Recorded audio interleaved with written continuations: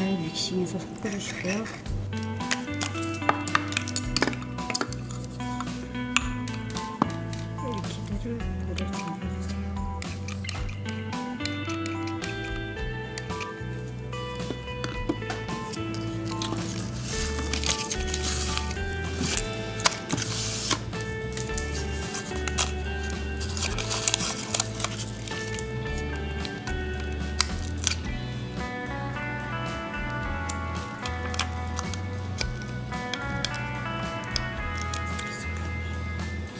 힙커브가 유지돼요.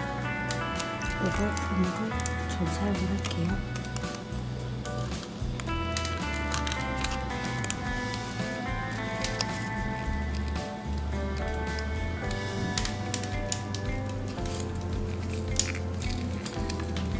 저희가 5 미만이면 좀 커브를 깊게 줘도 돼요. 따로 핀치가 안될 수 있게 당겨줄게요.